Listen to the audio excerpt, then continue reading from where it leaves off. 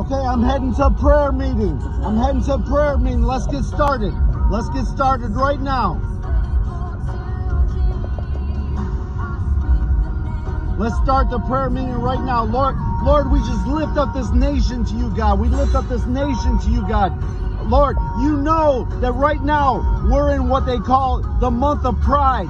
Lord, you know how America has allowed the killing of over 60 million unborn children.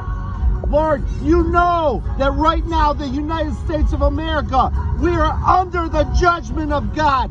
We're under the judgment of God as we have Joe Biden as our president. Lord, I pray that you would do whatever it takes. Do whatever it takes to, to bring this nation to you, God.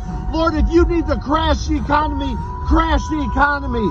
If you need to wait, whatever you have to do, God, whatever you have to do.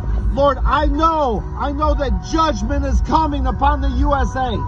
Judgment is coming because if judgment does not come upon the USA, you would have to apologize to Sodom and Gomorrah.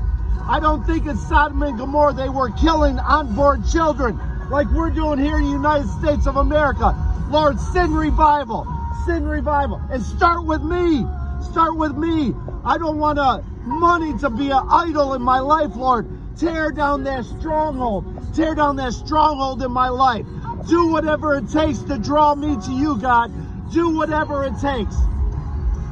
Lord, I just lift you up. I praise and exalt and magnify you and worship you and just give you glory, God. Lord, do whatever it takes. Do whatever it takes.